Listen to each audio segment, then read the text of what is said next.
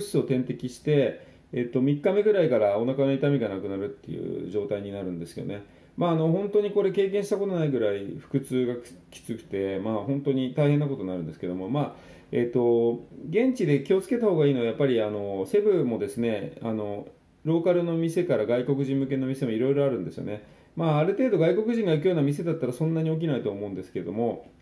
でもちろん体調との兼ね合いもある免疫力とか体調との兼ね合いもあるので油断は禁物なんですけども、まあ、現地の医者のレベルアメリカ帰りの医者がいたりして結構ちゃんとしてるっていうのがあの印象です。フィリピンもレベルはそんなに低くはないですね。救急搬送まあ、救急車で救急搬送っていうことも僕も経験してるんですけども、まあ、点滴も注射もですね安全にやってくれるので、まあ、そこはそんなに、えっと、日本と差はないのかなと。ローカルの病院じゃなければってことですけども差はないかなと思います。あと、まあ、あの犬を一緒に日本から連れて行きたいとかですね。